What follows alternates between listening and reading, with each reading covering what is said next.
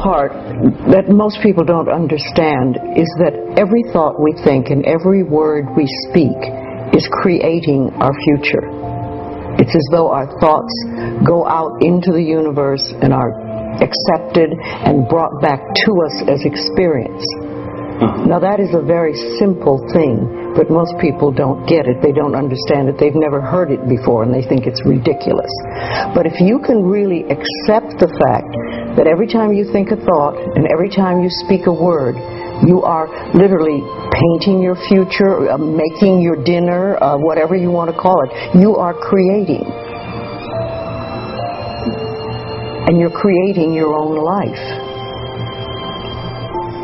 And this is simple, but it's not easy to accept. But once you accept it, then you can start deliberately creating what you want in your life. And you begin to be aware of what you don't want in your life and how you are contributing to it. See, most of us just think, think, think, think, think, think, think, and we don't pay any attention to what we're thinking. We're just doing it.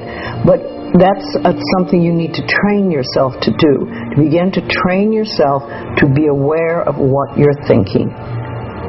And, and one of the ways to do that is to periodically say to yourself, what am I thinking? Would I like this thought to create my life?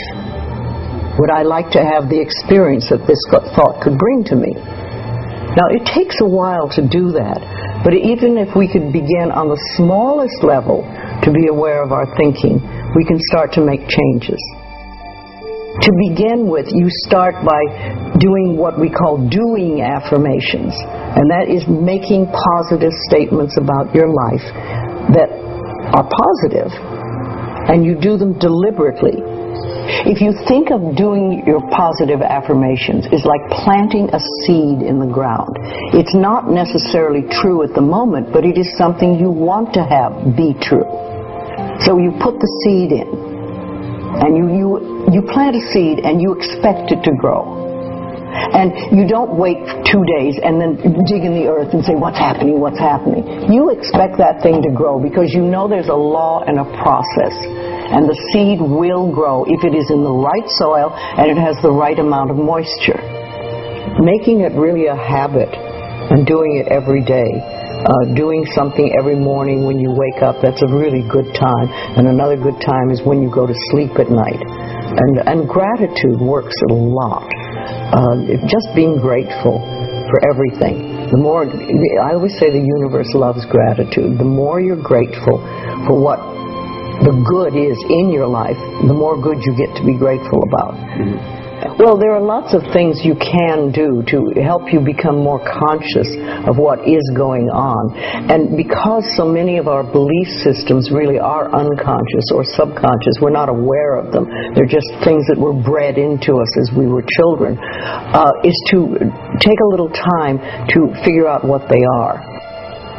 So you can really begin to realize what you do believe about these things. So you can't change your thoughts if you don't know what your thoughts are. There is a law of thinking, and we are beginning to learn about it. And it is like a computer. If you have this gorgeous computer put in front of you, and you don't know what to do with it, it's a piece of junk. But if you learn the language of the computer, miracles happen.